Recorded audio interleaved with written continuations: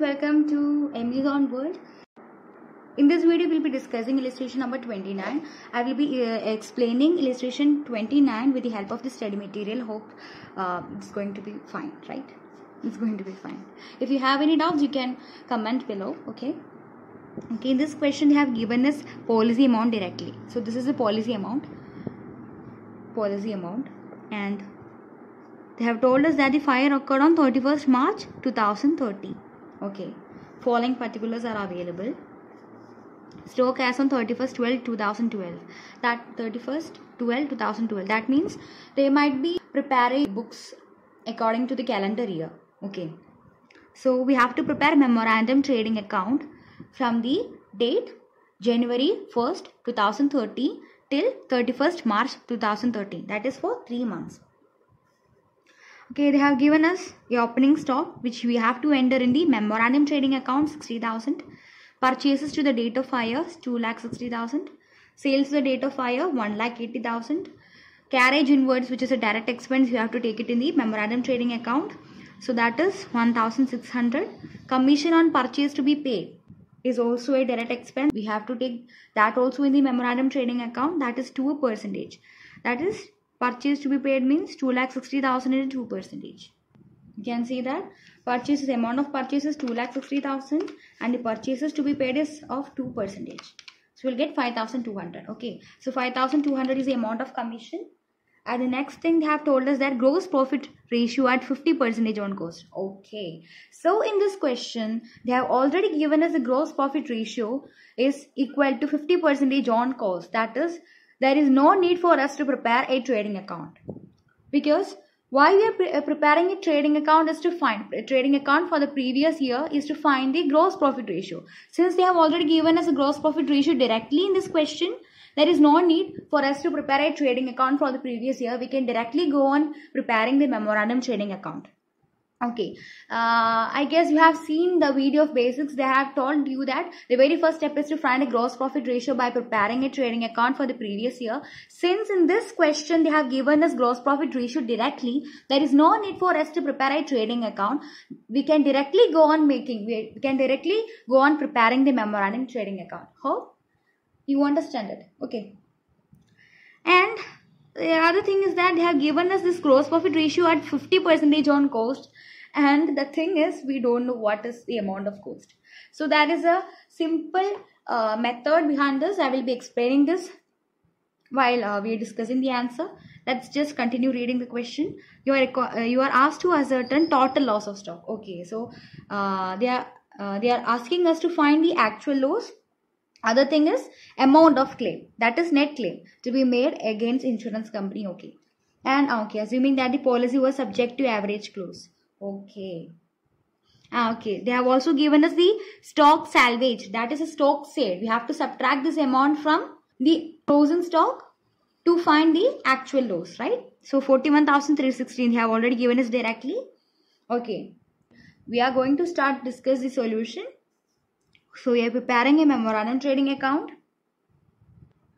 Okay, so as usual the very first thing we have we used to enter in a trading account is opening stock. So we are directly writing the opening stock that is 60000 60000 okay. The next is purchase. They have also given us that they have given us that directly in the question 2 lakh 60000 we wrote it down 2 lakh 60000 the next thing is carriage inwards is a direct expense right we have to write them down. So 1600 okay. And commission. We found the amount of commission as 5200 that is 2 lakh 60000 into 2 percentage. We'll get 5200 why? Because they have already told us that own purchase. That means we have to multiply this 2 percentage. We have to apply this 2 percentage on this purchase. Okay. That, and that's how we found the amount of commission. That is 5200 that is also a direct expense. We have to write it down in the memorandum trading account okay. And uh, other thing is they have given us a sales. So we wrote down the sales directly. Since we have to find the closing stock as balancing figure we have to know what is the amount of gross profit. And here they have given us 50 percentage on cost. So how do we calculate it? Because we don't know what is the amount of cost. So how are you going to calculate the gross profit? Amount of gross profit? It is very simple. There is a logic behind this. That is they have told us in the question that the gross profit amount is 50 percentage on cost and we don't know what is the amount of cost. What we have to do is that there is a logic. We know 50 percentage is 1 by 2, right? 50 percentage is 1 by 2. Okay, is 1 by 3 of sales. Okay, then 1 by 3 of cost is 1 by 4 of sales. Just change the denominator. What will be 1 by 5 of cost? It is 1 by 6 of sales, right? So just change the denominator and then you will get the answer. So 50 percentage if they are asked, if they are telling us that it is 50 percentage on cost, we know that 50 percentage is equal to 1 by 2, right? So 1 by 2 of cost means 1 by 3 of sales. And 1 by 3 of cost means 1 by 4 of sales. Then 1 by 4 of cost means 1 by 5 of sales. It will go on likewise. Okay. So that is the logic behind this. Since we don't know what is the amount of cost, we are going to calculate this gross profit amount on sales. So we got that 50 percentage is equal to 1 by 2 of cost and 1 by 2 of cost means 1 by 3 of sales. So what we are going to do is we are going to apply 1 by 3 of sales. Simple. That is the amount of sales is 1 lakh 80,000 right? And we already saw that 1 by 2 of cost is 1 by 3 of sales. So multiply this 1 lakh 80,000 into 1 by 3 and you will get the amount of gross profit and we wrote it down 60,000.